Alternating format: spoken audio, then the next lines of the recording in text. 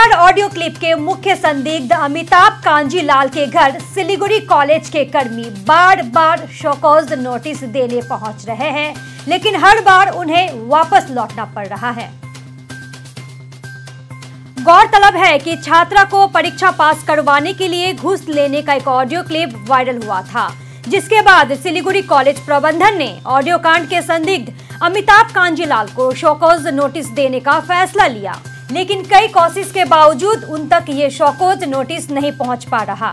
Audio के viral होने के बाद से अमिताभ कांजीलाल कैमरे के सामने नहीं आ रहे।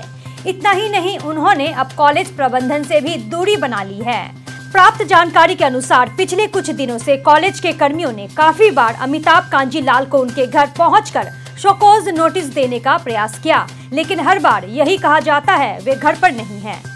वहीं दूसरी तरफ सिलीगुड़ी कॉलेज की जांच कमेटी के एक सदस्य ने बताया कि अमिताभ कांजीलाल को ईमेल के माध्यम से शोकोज नोटिस भेजा गया है उन्होंने कहा कि अब वे कॉलेज के अधिकारियों को सूचित किए बिना छुट्टी या शहर के बाहर नहीं जा सकते अगर नोटिस का जवाब सात दिनों के भीतर नहीं मिलता तो उनके खिलाफ उचित कार्रवाई की जाएगी শিলিগুড়ি কলেজ থেকে এসেছি আমরা আর কি ওই কলেজের স্টাফ আমাদের এর আগেও দুবার এসে ঘুরে গেছে ওই জন্য আজকে আবার আমাদেরকে পাঠিয়েছে, তোমরা গিয়ে দেখো যে আছে নাকি চিঠিটা দেওয়ার জন্য। ওই যে যেটা শোকজ নোটিশ হ্যাঁ।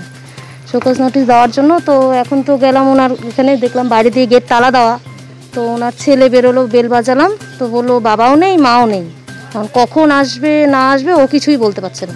তাও বলে গেলাম যে কালকে আবার আসব হয়তো আমরা। থাকতে বলতে, ওর বাবাকে যদি দেখা হয়, স্যারের সাথে ওর। ও বলল তো ওর বাবার সাথে ওর দেখা হয় না বেশি। পড়াশোনার মধ্যেই থাকে। হ্যাঁ উনি এখন লেটারটা হয়তো রিসিভ করতে চাইছে না বা এখন কি উনি এখন কি বলতে চাইছেন সেটা তো আমরা বুঝতে পারছি না। তবু আমাদের যেটা দায়িত্ব এখন বারবার আমাদের আসতেই হবে। যেহেতু দুবার এসে গেছি, আবার আসলাম আজকে, আবার যদি পারি কালকেও আসব আবার। এখন দেখা যাক কি হয়। উনি কতদিন এখন নিবেন না বা কী করবেন, কিছু তো বলেনি সেরকম আমাদেরকে।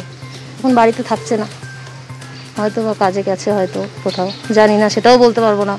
এখন বাড়িতে আছেন কি না সেটাও বলতে পারব না।